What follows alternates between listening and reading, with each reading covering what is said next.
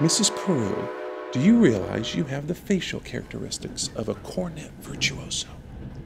Well, I don't think I understand you entirely, Professor. If your boy has that same firm chin, those strong cheek muscles, by George, not that he'd ever really be great, you understand. Well, is that so? In the name of St. Bridget, why not? Well, all the really great cornet players were Irish. O. Clark, O. Mendez, O. Klein. Oh, but Professor, we are Irish. No. Yes. No. Well, that clinches it. That clinches it, Mrs. Paroo. Oh, Thank you. Mrs. Paroo, your boy was born to play the cornet. That'll be $7 earnest money with nothing due till the first installment payable at the opening of band practice. And I'll need the boy's measurements for his band uniform. oh, his uniform. Certainly, certainly his uniform.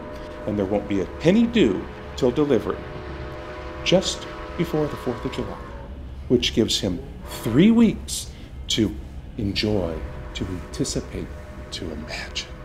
Oh, and if you can get him to play in the band, you'll have St. Michael's own way with him. And if anybody can do it, I'll bet you can. Out of a crowd, I'll pick you for a hod carrying, clay pipe smoking, harp playing, shamrock wearing, Tara's Hall minstrel singing Irishman, the gobbin the chappers. Where are you from, me boy? Gary, Indiana. I knew it, Gary. Uh, uh, where'd you say? Gary, Indiana.